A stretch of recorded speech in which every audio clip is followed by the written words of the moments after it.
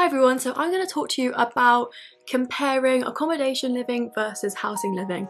So I stayed in Bailey Point in first year and now I'm in my own house with a group of five, there's five of us um, in Winton. So I'm going to talk you through like the difference in perks, the difference in responsibilities, um, so you can work out where you would want to stay next year or in the future.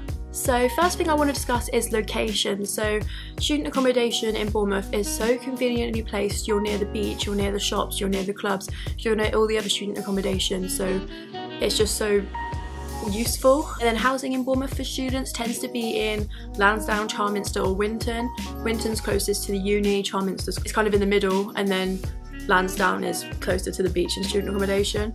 So it really depends on, it's really personal preference where you would rather stay. I found living in Winton so useful because I'm a 10 minute walk away from uni and it's really useful because I don't have to catch the bus. But then when I was living in Bailey Point in student accommodation, there were buses everywhere, so um, it was really easy access to a bus and transport, so it's not really an issue being slightly further away. Second thing is bills. So you have a lot more responsibility living in a house than you do in accommodation. In accommodation, it tends to be that all your bills are included, sometimes even a bus pass.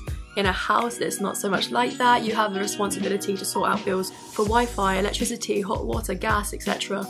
Top tip, make sure that the company your previous tenants were with isn't still charging you because we set up our bills with a company and then we were getting charged by this other company so we were being charged twice because the previous tenants didn't cancel it.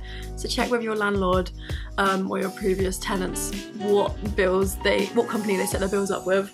Anyway a benefit of living in the house in a house is that you probably have more room the student accommodation is lovely but your bedrooms are all fairly small. They do the job, but they're fairly small. Um, and living in a house, you have more room usually, and you it feels more like a home. Um, and you get the opportunity to dress it up a lot more and make it more homely than you would student accommodation. So living in a house has definitely felt like I'm living in a home at university rather than student accommodation kind of felt like a place to stay at uni, not a home. A perk of living in accommodation is you get to meet so many people, neighbours, um, flatmates, all sorts. It's so useful for that respect. But then in a house, you're probably going to be staying with your best friends.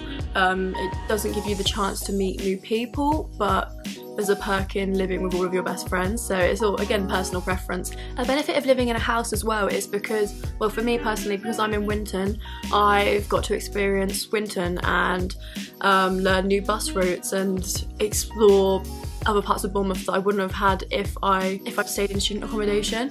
Um, so it's really beneficial in that respect and I feel like I know my way around Bournemouth a lot more now. You also just feel more grown up because you're responsible for everything and it's your house. Also accommodation, you don't have a bar, you don't have a garden and I'm pretty sure you have to pay for parking um, or there isn't any with a house you may get a driveway, you may get a garden, so if you're a person that likes that kind of space, really beneficial. Then again, by accommodation there is a seven mile long beach, so it's completely personal preference. Those are a few of the main things I would say about living in accommodation versus living in housing. I really enjoyed both and I haven't decided whether I'm going to go back to accommodation for third year or stay in a house. Ideally I just want to be somewhere near the beach so regardless if I'm near the beach I'll be happy. So yeah, I hope this was helpful. Thank you for watching.